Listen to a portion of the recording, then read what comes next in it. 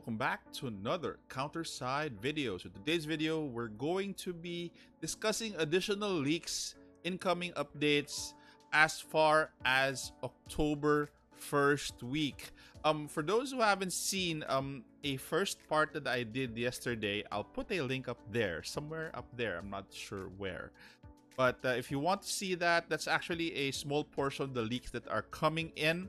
So we'll start with this one. So again, this is going to start on September 22.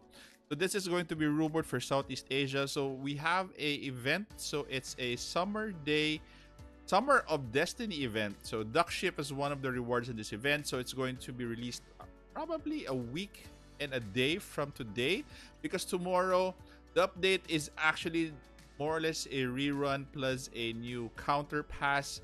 We're going to get this a weekend a day. So that's it.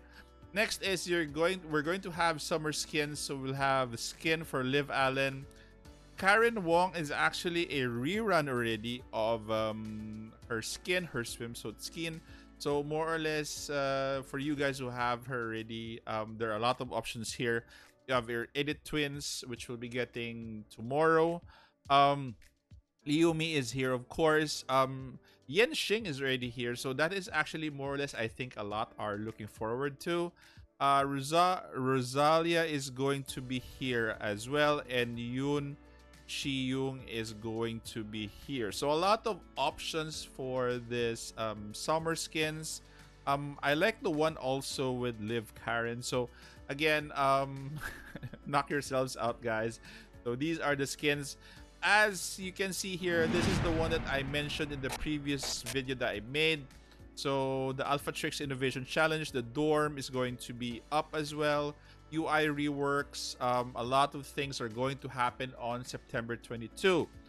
Next is going to be um, our, uh, what do you call this, our Awakened SSR. So a lot have been asking me, who is the next SSR? Awakened SSR. So who is the next? So we have your answer here, and it's actually in the thumbnail. So it's going to be Seo Yoon, which is going to have her awakened form also on September 22. So guys, save up because again, um, this could be bloody um summoning for her um especially if you're free to play um again um this is going to be a wild and chaotic september 22 so um I'll mention, you know, I'll, I'll take a look at her kit later. Let's just browse through uh, all of the events for um, September 22. So we're finally going to get Frederick Doma and Frederick Yuna. So they're also rumored to be out, but they're in the game already. They're just not activated somehow. They're in the the collection. Then a couple of reruns so that you could plan your summons. Um, it's important to know what are the banners that are coming out up, to October, uh, the first week of October, because again, um, once you are at this part, we don't have any regular summons yet. So for Ju Xiong, if you want to summon for her, she's going to have a rerun. Um, also for Liu Mi, she's going to have her own rerun. So if you you have her uh, then you go to the next there's also a summer event part 2 and skins part 2. So um awakened uh Lee Ji-soo is going to be here. You have here Chifuyu, Chinatsu, Elizabeth, Yumina, and Edel. There are a lot of also good skins here to look forward to. For me personally, I'd go with uh, Chifuyu, probably with uh, Lee Ji-soo, um, there are a lot. Um, even Elizabeth, I like uh, her skin here. So again, you have to save up, guys. You have to plan this because you can't get everything unless you're a whale. Want to purchase every every swimsuit that they have? Well, be my guest. But again, these events have to be planned in advance. Next is going to be Future at War Janus or Janus. So as of uh, September 29, so it starts here in the summer event part 2. So again, 22, 29, you will have a lot. So I would suggest for those who have the, you know, for those who have um, the previous banners already or the units for the previous banners, you save up for Janus here because Um, this is a new unit. We'll talk about Janus later. I'll discuss. Let's just finish this, guys. Um, I'm really excited to show you all of these. So, there's also a rerun uh, for the banner for Rosaria. So again, for those who have haven't gotten her for my free to play account, I'd probably go with Rosaria than than the others. Um, Rosaria is actually a must for my free to play. So for free to play, I'm going to look for her. I'd rather um someone for Rosaria than Janus because I don't have any mechs for my free to play account. Then we also have for September 29 to round this up is the Nanahara Family Alliance. You have here Chinatsu, Chifuyu, and you have here Nayuka Minato. So th- this will be a rerun, um, and they will be uh, usually in separate banners. So again, plan ahead, guys, if you want to summon for them. And last is for October 6th.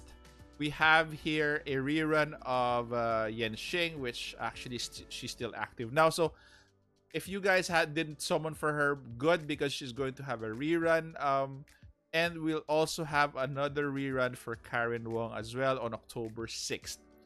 So that is it for a lot of banners that you'll be getting. So um, plan ahead, guys, because we're going to have a lot of banners soon. Two new units to discuss, and let's go to them right now. Okay, I'll save uh, uh, uh, our awakened unit for the last one. So let's go to Janus first. So Janus or Janus is going to be a mech at 4 costs. He's going to be very good because he actually transformed from a ranger to a defender. So Janus starts as an airy ranger, but when his HP falls below 50, transforms into a ground defender type unit. Thanks to its um, universal unit that can adjust to battle, which is a popular pick in all game modes. So again, it's a worthwhile investment for all the mech users out there. The PvP score, PvE score is a 10 out of 10, so widely used in all of the game modes. So very versatile unit. Shines in Shadow Palace as well once we get Shadow Palace. Next would be at PvP, so a great addition to mech teams. You pair Janus with Coffin 6. And Coffin 6 hasn't been released yet, and its special attack can do one third HP of an SSR ship in one shot. Okay, it, it in the past Janus was used in all teams and replaced Rosaria as the go-to air ranger, but now it shines mostly in mech team comps. So, um, well, for me, I can get, I can get him, um, as long as I save enough, especially for my main account. So, if is he worth pulling? Yes, he's future-proof. If you're not a mech fan, so more or less just skip him. But again, again for me, for my main account, I'd like to have all the units um, available so that I could have the variety. So again, for his skill set, let's go to his skill set. So fires an energy cannon, inflicting AoE damage on and around his target. After transformation, swings its energy arms instead of inflicting AoE damage in front. So passive is going to be activates its transformation system in case of emergency. When deployed, its defense is decreased by 90%. When its HP drops to 50% or lower, transforms to a ground defender with full defense but 50% lower attack and crit. So very useful. Um, very um, uh, what do you call this? Um, is going to be a glass cannon earlier, but when HP drops, he turns into a defender. So again, pretty much very good mech. Fires a high-powered energy beam, inflicting AoE damage on ground uh, and around its targets. After transformation, shoots an energy sword, inflicting AoE damage in front, forcing enemies to attack it for 5 seconds as a defender. So at level 5, cooldown is at 4 seconds. This is going to be special. And his passive is going to be upon transformation, cast a bar equal to maximum HP and becomes immune to hit stun from special or lower skills for its barrier duration. At skill level 5, barrier duration, damage taken minus 30 from rangers and immunity to stun. Okay. Again, a very good compliment to all your mech comps out there. But this is the one that we've been, you know, looking forward to. So another awakened SSR for us to have. So this is going to be Seo Yoon. For cost is going to be 60. Um, She's going to be a Ranger in a counter, so very top tier. KR PvP score is off the charts at 12 slash 10. Uh, she's a force of nature in PvP, PvE. If you don't have her, you're basically playing the game on hard mode. So I, I believe so. A Yuna plus A Seoyun can duo Shadow Palace 5. So again, she's a very complement to A Yuna. She reached band 4 as second unit after A Yuna, but it took her a month after release, while Yuna needed 3. So her counters healing, her, her special counters any healing based teams, and Abraham user. So when they when they match up with her, they cry. So someone has Sion as their leader. So if she's worth pulling for, of course she is. So basic attack, single target in front of various firearms. Um, arms synchronization is her passive, so increases skill cooldown by 8 seconds for all enemies. oh my god, this is going to really hurt. Um, in a 7 meter radius, uh, is going to hurt when deployed. So after every third basic attack, she delivers an enhanced attack, summons up to 4 telekinetic rifles, and increases her telekinetic rifle attack by 5% for 12 seconds, up to 25%. These telekinetic rifles take damage for her. Sion moves forward when her HP drops to 70 or below, knocking surrounding enemies backward in her facing direction, and summons a additional telekinetic rifle. At level 5, passive evasion is activated again if HP drops to 40% and below. That is a really long passive and really packed. So guys, you better save up as early as today. If you've saved up, then good.